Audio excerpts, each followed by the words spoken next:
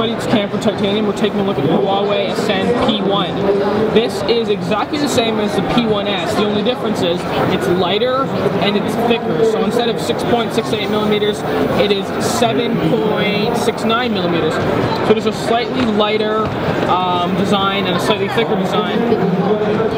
It does feel uh, very nice in the hand, just like the other one, with the exact same specifications, with stock Android ice cream sandwich, an 8 megapixel camera, 4.3 inch screen. It is uh, 960 by 540 resolution, the same as the other one.